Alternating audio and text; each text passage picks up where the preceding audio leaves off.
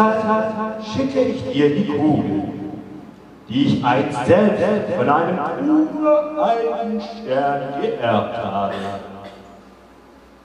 Diese Kugel birgt ein großes Geheimnis in sich. Man kann mit ihr die Zukunft sehen. Pass gut auf dir.